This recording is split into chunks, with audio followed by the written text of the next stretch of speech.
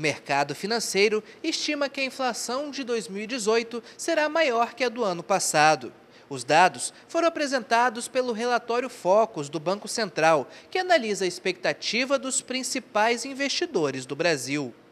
A estimativa para o Índice Nacional de Preços ao Consumidor Amplo, que é o índice de inflação oficial do país, é de 3,95% ao longo do ano. Há quatro semanas, a expectativa estava em 4,02% para 2018.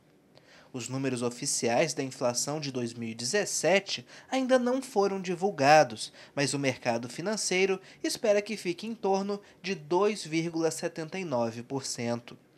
Se o índice se confirmar, será a primeira vez que a meta de inflação será descumprida por ficar abaixo do piso estipulado pelo governo. O relatório Focus, divulgado pelo Banco Central, também apresentou uma estimativa para o Produto Interno do Brasil em 2018. O mercado espera um crescimento econômico de 2,69%.